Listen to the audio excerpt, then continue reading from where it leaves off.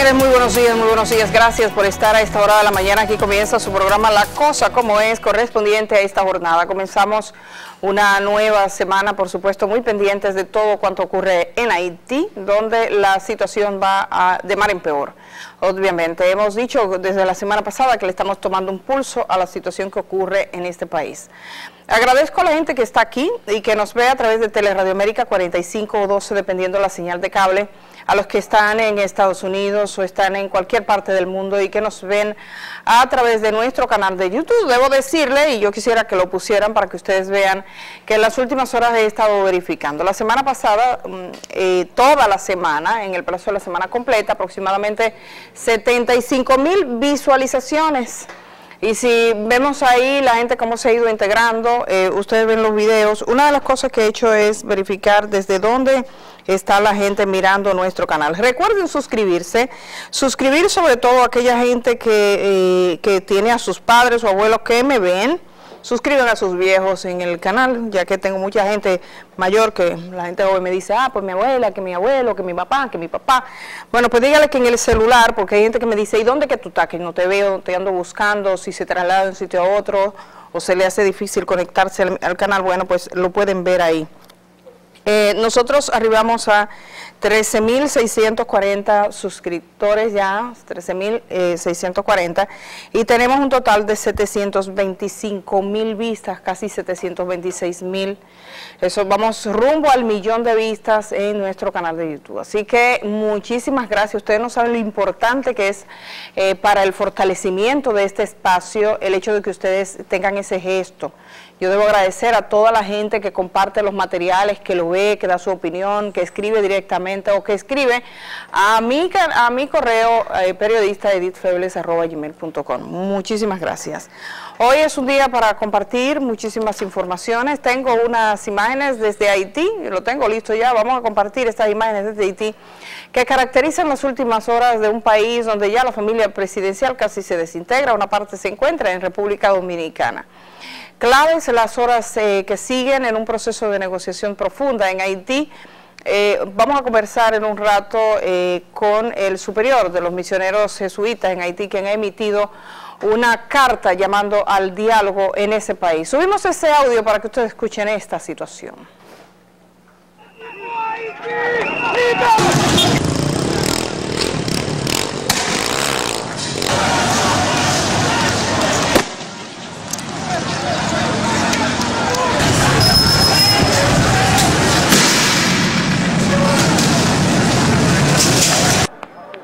Disturbios callejeros, eh, saqueo, inseguridad, muertes en las calles, nunca mm, contabilizada de manera correcta, gente herida, gente que protesta, gente arrestada, y están viendo ustedes, es el panorama que hay en un Haití donde las delegaciones internacionales han comenzado a salir del país.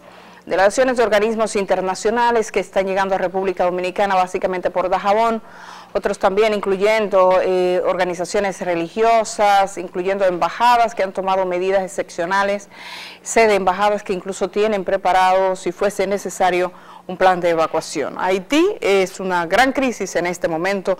Los haitianos están en la calle pidiendo la renuncia del presidente de ese país, sin embargo, el mundo entero lo ve con eh, poca atención. Es muy difícil encontrar incluso materiales sobre Haití. Yo debo decir que eh, a raíz de los programas que hemos hecho aquí sobre Haití, eh, con Harold Pierre, que es economista y politólogo, hemos tenido entradas la semana pasada procedentes desde los Países Bajos, desde Chile, desde Costa Rica, desde Argentina, desde España, eh, desde Colombia, o sea, saludo a toda esa gente, en un ratito vamos a estar compartiendo de nuevo con él eh, para eh, conocer un poco también las circunstancias y el contexto que ha llevado a Haití a estar como está.